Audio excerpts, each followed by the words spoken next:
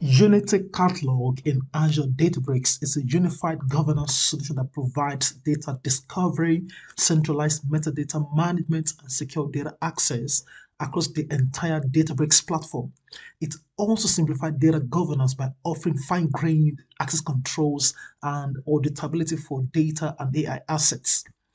In this video, I'm going to show you how to create Databricks cluster, Unity Catalog, schema, and create tables and use the Power BI desktop to connect to the tables for downstream analysis. Therefore, let's get started. If you're new to my channel, please make sure you click on the subscribe button and turn on the bell icon to be notified of new videos. Let's dive into it. I am currently in the Microsoft Azure Databricks platform. So the first thing we one to do is to create a cluster. So I'm going to come to compute and of course to create a cluster, just click on this create. Now we can choose either we want all purpose compute or job specific compute or SQL warehouses, serverless compute and so on. But we're going to go with the all purpose compute. Click on this create compute and then we can provide the name for the compute and then we can provide a policy including the nodes like the multiple or single node and then we can provide the Databricks runtime version and then we can specify the termination period. I'm going to just choose single node and then this is fine. We're going to stick with the use Photon acceleration and then we can terminate this cluster pending on whatever time we choose by default, we're going to have this 120 minutes. So I can just move this to maybe um, 60 uh, minutes, and this is really necessary in order not to incur cost if this cluster is not being used. So once you're done, go ahead and click on Create Compute, and then we're going to wait for that to be created. But in our demo, I'm going to use this already created Abiola Abiola cluster, okay? So we must have this cluster running.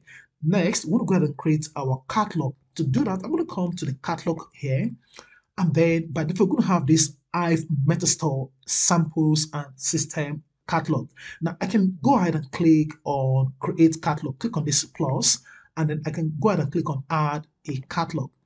So I'm going to provide the name for the catalog. Let me just call this one data analysis and then we can provide the type. It's going to be a simple standard, and then we can provide the storage location. This is going to be within my Databricks demo, which is what I have here. So click on that, and then I can see the ABFSS path. So go ahead and click on create, and then we have the catalog created. Beautiful. So we can go ahead and provide the configuration. So click on this configure catalog, and then we're going to see these three steps workspaces that's going to use this catalog and the permissions and then the metadata.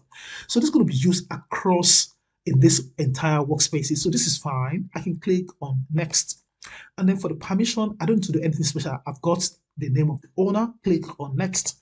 And then for the metadata, click on save. And then we have the catalog successfully established, which is super cool. And I'm going to see that here at the top. So this is the catalog.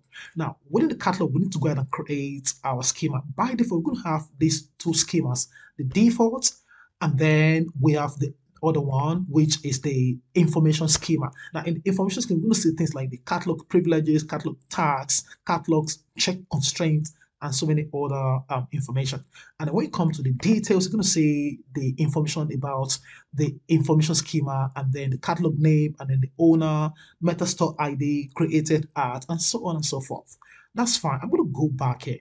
So we want to create our own user specific schema. So to do that, click on this create schema at the top right hand corner and I can provide the name for the schema. I'm going to call this one analysis. And once I'm done, I can, of course, provide the storage location. This is going to be inside the Databricks underscore demo and then click on create.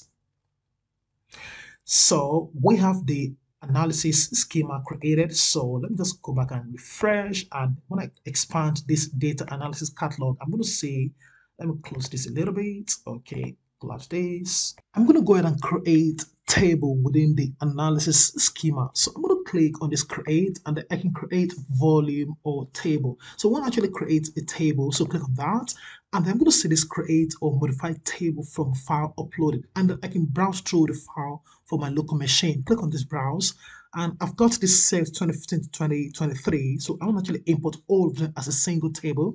So a single click on this and then hold down the shift key and then click on the sales 2023 and then click on open. And it's going to automatically append all the nine files. So we're going to see nine files uploaded with the total of 18.66 kilobytes. And then we can see the columns, the year, the region, the subcategory, and so on and so forth. And then we're going to see this is going to be stored in the data analysis catalog, and then this is going to be stored within the catalog, the analysis schema, and then this is going to be the name of the table.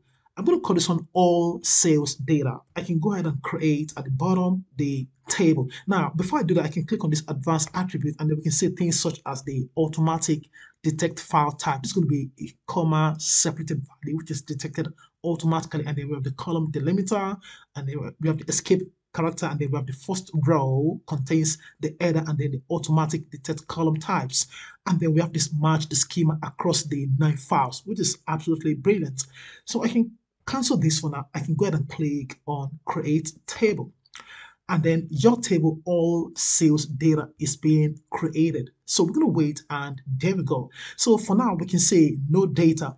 All you need to do just go ahead and click on this refresh catalog and you're going to see the all sales data table within the analysis schema of the data analysis catalog. Super amazing. And then in the overview we can see the names of the columns the year the region to the sales. And then we can see the type the big a string and so on and then we can even input some comments, tags, and column masking, which is actually cool. When I come to the sample data, I can see the sample data set, which is super cool. Let me just move this a little bit. And then we have all data sets combined as a single table.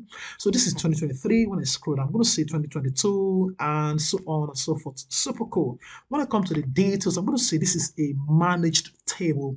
And then we have the storage location, and then we have the Azure Blob file system. And then we can see the property properties, they created at, by, and so on. This is now created. So we want to go ahead and use this data set, the all sales data, to perform analysis in the Power BI desktop. So to do that, I'm going to come to the Power BI desktop and then this is just a Power BI instance. I'm going to click on get data and then click on the more option at the bottom. And I'm going to search for Azure Databricks and I'm going to see the Azure Databricks. Basically, we need to provide the server host name and then the hypertext transfer protocol path. So for the server hosting, I'm going to come back to the Databricks and I'm going to go right into my compute and I'm going to go into that specific catalog that's actually running. So click on that. And then I'm going to scroll down at the bottom. We have the advanced options. Click on that.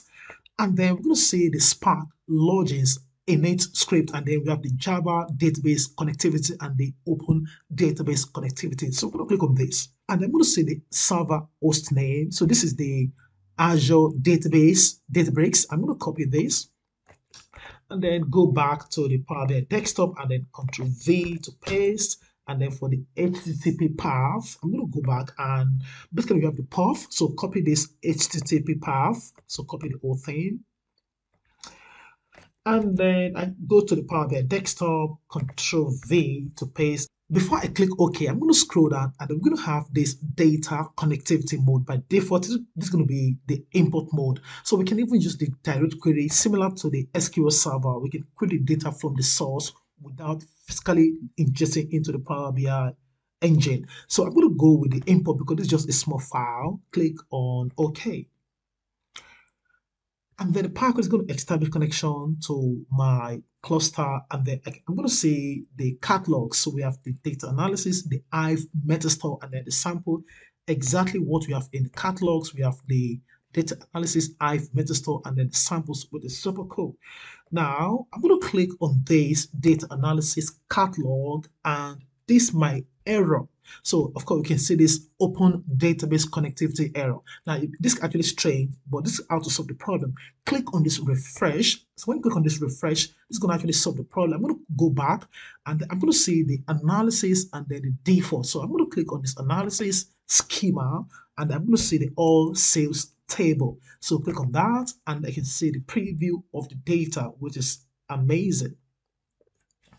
Okay, so we have data sets. So let's go ahead and create or transfer the data. So we want to create the dimension tables from the all sales data fact table.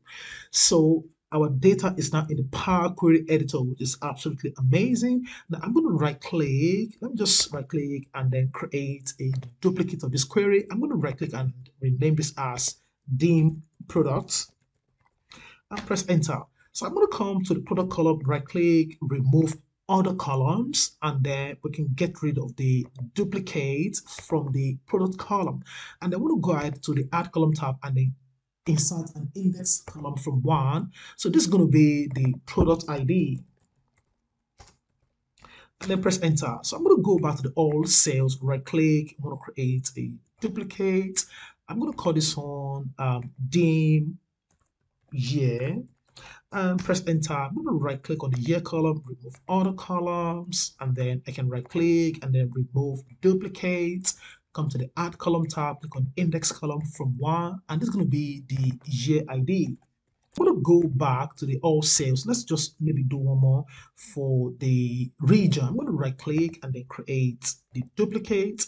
So right click, rename. I'm going to call this one the region for the dimension table. Right click on the column remove other columns, right click and then remove duplicates and then want to insert the index and it's going to be region ID. Press enter. I think this is fine. So just rename this properly. Okay.